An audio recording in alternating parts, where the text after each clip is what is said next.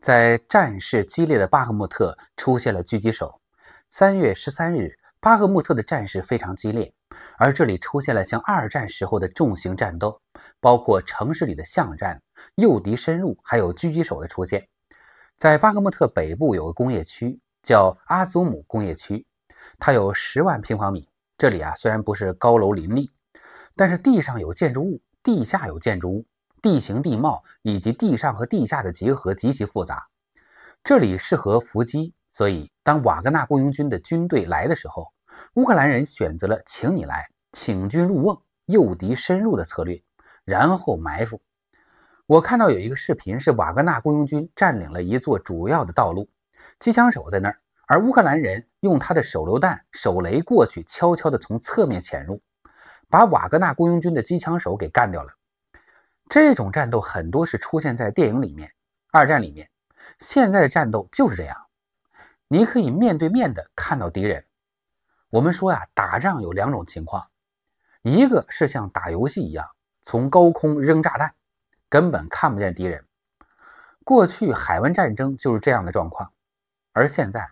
乌克兰和俄罗斯之间不是，你可以看得见敌人，这些啊都会留给人深深的伤痕或者阴影。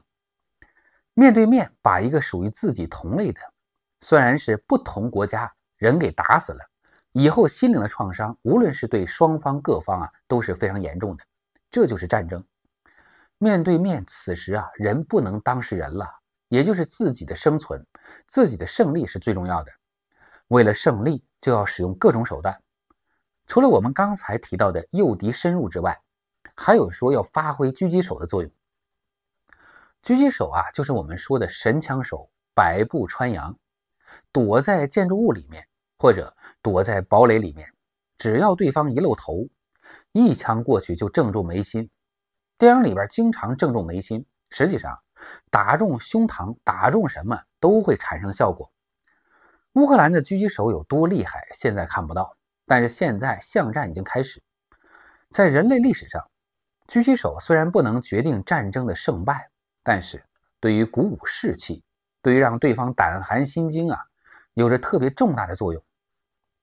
上世纪二十年代苏芬战争期间，即苏联和芬兰的战争，有一个芬兰的狙击手叫西蒙海耶，他一九零五年出生，本来是个猎人。结果苏军打过来之后，他决定上战场。他穿着和雪地里一样颜色的服装，踩着雪橇，能够非常灵活的移动，而且枪法非常准。在一百天之内，他一个人干掉了五百二十四个苏联的士兵，当时是谈虎色变的。就在芬兰的平原上，在雪地上，就像林海雪原的战士一样，特别的勇猛。有些电影就描述了。这些经典的场面，比如说很老的一部电影叫《兵临城下》，就讲了在二战时期德国和苏联之间狙击手之间的战斗。每一个细节都可能让自己送命，而为了获得胜利，可能同伴需要先露一下头，这样对面的枪就会打过来。而就在那一瞬间，就在自己的子弹出去那一瞬间。对方的狙击手也会根据这一点星星之火过来，把这一边的对手给打死。这就是战争，战争就是这么残酷。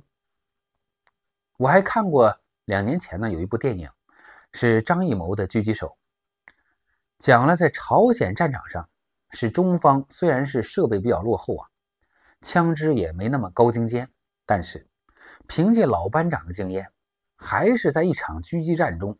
取得了胜利。张艺谋的狙击手场景啊比较简单，在雪地里挖了个战壕，对方可以拿着大喇叭喊对方都能听见。但现在啊，在阿祖姆工业区这里面，我们说了各种建筑物很复杂，在建筑物后面或者是地堡里面呢，就会有一个人可能造成大量的杀伤。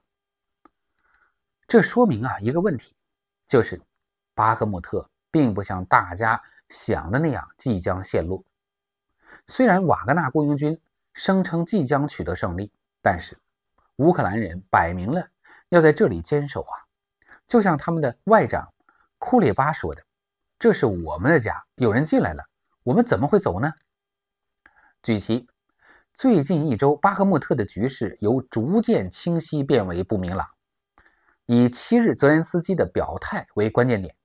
此前，前线媒体报道，担任主攻的瓦格纳集团已经对巴赫穆特形成了半包围的态势。乌克兰只有西部可以勉强维持补给。乌总统顾问承认可能会撤退。随后，德媒《图片报》称，总司令扎卢日内和国防部官员也建议泽连斯基下撤退命令，保存实力用于以后的决战。但七日，泽连斯基宣布他们无法放弃巴赫穆特，这将导致严重后果，并下达增援指令。乌军方高层也表态不会有撤退行动出现。上周早些时候，瓦格纳集团创始人普里戈金发布了一段视频，宣布瓦格纳部队已经占领了巴赫穆特东部地区，并建议政府啊组织当地的民众撤退。但后续网上传出的一段现场视频中，普里戈金则又抱怨俄军部队不愿意配合，导致他们的弹药。又出现了短缺。这段视频尚未证实是近期拍摄于巴赫穆特。十日，在乌军宣布全线增兵后，普里戈金的更新视频称，他们已经推进到距离巴赫穆特市政大楼仅1.2公里远的位置。不过，北方支援的大批乌军将对其发动反包围，瓦格纳集团则要求俄军一定要保护好我们的侧翼。一切行动会顺利进行。十二日当天，叶夫根尼·普里戈金在最新的视频中表态称，目前瓦格纳集团已经面临很困难的战斗，乌方向这座城市啊投入的预备队数量根本数不清楚。他再度强调，局势非常困难，几乎每一步路啊都能遇到敌人。现在战斗持续白热化。普里戈金也没有再提完成目标的说法，只是表示他们仍然会保持进攻。在末尾，他还留下一句话：“我们会前进，我们不会让耻辱覆盖俄罗斯军队的荣誉。”有分析则认为，普里戈金最新的表态啊，显然多了更多的不确定性。一连用了两个困难，足以明确现在的境地，而且他最后的言论。也颇有不成功便成仁的打算。实际上，多方都认为，对于乌军能否实现反包围瓦格纳集团的目标，关键点在于北方的俄罗斯军团能否阻挡乌军的攻势，并将他们推回集结点。如果可以保证瓦格纳侧翼的安全，拿下巴赫穆特仍有很大希望。但如果俄军在北方战败，导致乌军分割城中部队，瓦格纳集团就凶多吉少了。